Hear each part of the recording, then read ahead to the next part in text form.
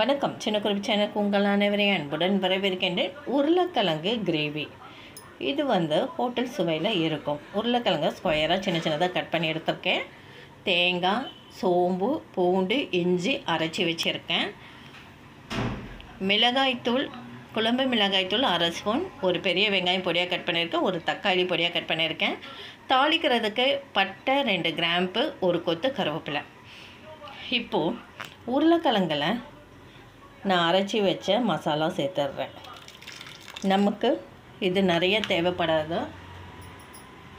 மூன்று ஸ்பூன் அந்த லெவலுக்கு நீங்கள் எடுத்துக்கோங்க மசாலாவை. ரொம்ப தண்ணி விட்டும் வேக வைக்கக்கூடாது. மிளகாய்த்தூள் குழம்பு மிளகாய்த்தூள் சேர்த்துருங்க.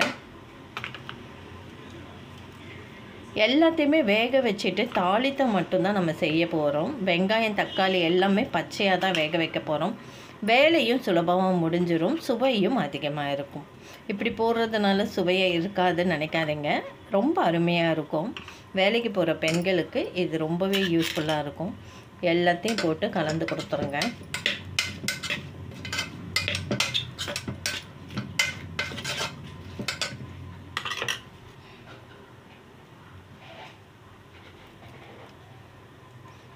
நான் கொஞ்சம் கிரேவியாகவே எடுக்கிறேன். அதனால் நல்லா மூணு ஸ்பூனுக்கு நான் அந்த தேங்காய் அரைச்ச விழுது சேர்த்துட்டேன். கொஞ்சம் போல் அலம்பி ஒரு கால் கிளாஸ் தண்ணி இதில் சேர்த்துடலாம். அவ்வளோதான் கலர்ஃபுல்லாக நல்லாவும் இருக்குங்க. உப்பு வந்து அரை ஸ்பூனுக்கு கொஞ்சம் கம்மியாக சேர்த்துக்கலாம்.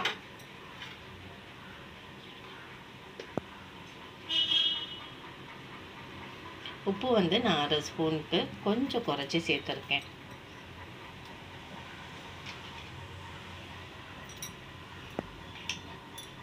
தான் கட் பண்ணியிருக்கோம் இல்லைங்களா? நமக்கு வந்து ஒரு ரெண்டு விசில் வர வரவழித்து எடுத்துக்கலாங்க. ஒரு விசில்னால் கொஞ்சம் வேகாமல் இருக்கும். அப்புறம் நம்ம வடைச்சட்டியில் வேக வைக்க டைம் ஆகும். ஒரு ஸ்பூன் வந்து எண்ணெய் விடுங்க.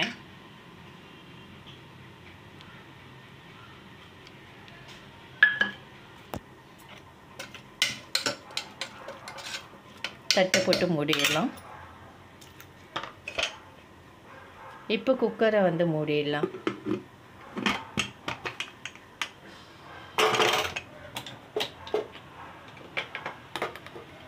அடுப்பு பற்ற வச்சு குக்கரை அடுப்பில் வச்சிடுங்க. இப்போ ரெண்டு சவுண்டு வந்துடுதுங்க இப்போ அடுப்பு ஆஃப் பண்ணிடுறேன். கொஞ்சம் நேரம் ஆவி அடங்கட்டும் வெயிட் பண்ணுங்கள் அடுப்பு பற்ற வச்சு வானையில் வச்சுட்டு பெரிஞ்சி இலை ஒரு கொத்து கருவேப்பிலை ரெண்டு கிராம்பு தாளித்தம் செஞ்சுடுங்க. அப்படியே குக்கரில் வேக வச்ச உருளைக்கிழங்க சேர்த்துடலாம்.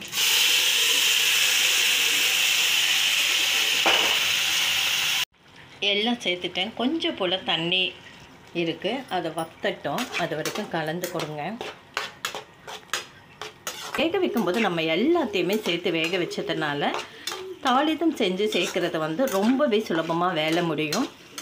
சுவையான கொத்தமல்லி கடைசியாக தூவி இறக்கிடுங்க. சுவையான உருளைக்கிழங்கு கிரேவி ரெடி பூரி சப்பாத்தி சாதத்துக்கு சைடிஷாக தொட்டு சாப்பிடுங்க ரொம்பவே அருமையாக இருக்கும். இந்த வீடியோ பிடிச்சா லைக் பண்ணுங்கள் ஷேர் பண்ணுங்கள் சப்ஸ்கிரைப் பண்ணுங்கள் கமெண்ட் பண்ணுங்கள் நன்றி.